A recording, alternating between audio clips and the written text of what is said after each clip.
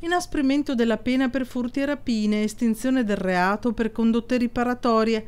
Per le intercettazioni inoltre, secondo un principio della riservatezza, chi le capta e le diffonde fraudolentemente rischia e qui i problemi saranno soprattutto per la stampa e i giornalisti una pena con reclusione fino a quattro anni sono i contenuti della cosiddetta riforma Orlando del processo penale che oggi dovrebbe ottenere il primo via dal Senato dopo aver ricevuto quello della Camera un provvedimento che si compone di 40 articoli sul quale questa mattina il ministro per i rapporti con il Parlamento, Anna Finocchiaro, ha posto la fiducia. Il disegno di legge infatti dovrebbe essere approvato, salvo qualche sorpresa, dopo la votazione prevista per le 19.30 proprio a Palazzo Madama.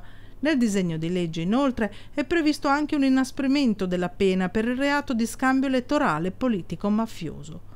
Novità anche per la prescrizione. La nuova riforma prevede che il termine viene sospeso dal momento della sentenza di primo grado al deposito della sentenza di appello.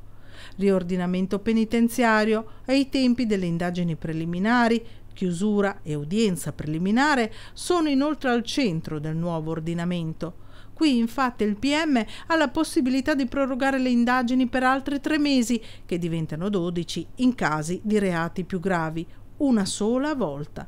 Prosegue intanto l'iniziativa delle Camere Penali d'Italia per la proposta di legge di iniziativa popolare per la separazione delle carriere dei magistrati. Separare quella dei magistrati inquirenti da quella dei giudicanti, chiede l'iniziativa.